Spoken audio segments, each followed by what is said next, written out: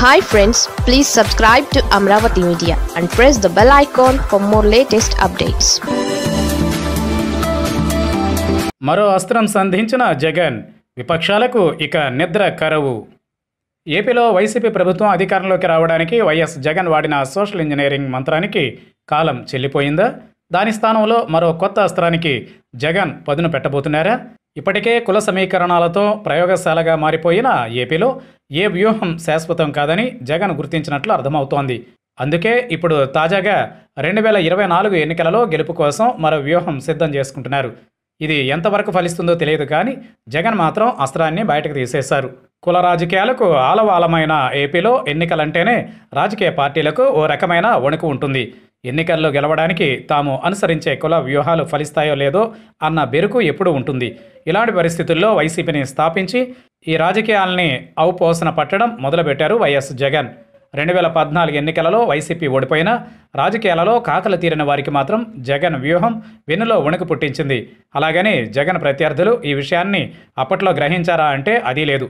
ఫలితం రెండు వేల పంతొమ్మిది ఎన్నికలలో వైసీపీ అద్భుత విజయం. దీని వెనుక జగన్ అనుసరించిన సోషల్ ఇంజనీరింగ్ వ్యూహం ఇప్పటికీ ఆయన ప్రత్యర్థులకు అంతుపట్టడం లేదు.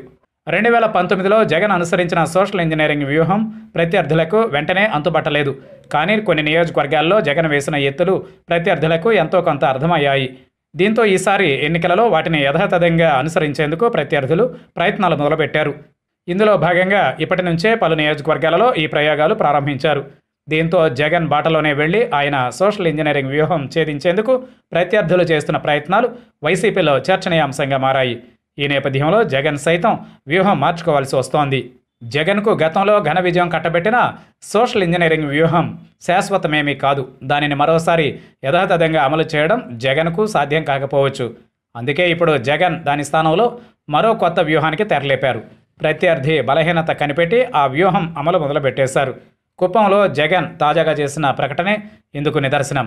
అలాగే ఒకేసారి రెండు కార్డుల్ని జగన్ బయటకు తీశారు. అవి కుల జనాభా స్థానికత. కుప్పం సీటు చంద్రబాబుది కాదు బీసలది అన్న జగన్ ఆ తర్వాత చంద్రబాబు కుప్పానికి నాన్ లోకల్ అని చెప్పేశారు. దీంతో కుల జనాభా ఆధారంగా స్థానికత ఆధారంగా సీట్ల కేటాయింపు వ్యూహానికి జగన్ తెరలేపినట్లయింది. రెండు వేల పంతొమ్మిది ఎన్నికలలో జగన్ సోషల్ ఇంజనీరింగ్ వ్యూహాన్ని పక్కాగా అమలు చేశారు. ఇందులో భాగంగా కుల సమీకరణాలని బిర్యానీ వండినంత సులువుగా వండి వార్చేశారు. ఉదాహరణకు జనరల్ సీట్లలో బీసీలకు టికెట్లు కేటాయించడం కుల జనాభాతో సంబంధం లేకుండా గెలుపు సమీకరణాల ఆధారంగా టికెట్లు ఇవ్వడం వంటివి ఇందులో కొన్ని మాత్రమే. ఇప్పుడు వాటన్నింటినీ పక్కన పెట్టి కుల జనాభా ఆధారంగా టికెట్లు కేటాయించే వ్యూహానికి జగన్ తెరలేపినట్లు కనిపిస్తోంది. అలాగే స్థానికత అస్త్రాన్ని కూడా బయటకు తీస్తున్నారు. తద్వారా స్థానికులకే అసెంబ్లీ టికెట్లు ఇవ్వాలనే వాదనను తెరపైకి తెస్తున్నారు. దీనినే రివర్స్ సోషల్ ఇంజనీరింగ్ ఆయన ప్రత్యర్థులు అభివర్ణిస్తున్నారు. అయితే ఇది కూడా ఖచ్చితంగా సక్సెస్ అవుతుందనే గ్యారంటీ లేదు. కానీ జగన్ చేస్తున్న ప్రయోగం మాత్రం ప్రత్యర్థులకు మరోసారి కంటి మీద కునుకు లేకుండా చేస్తోంది.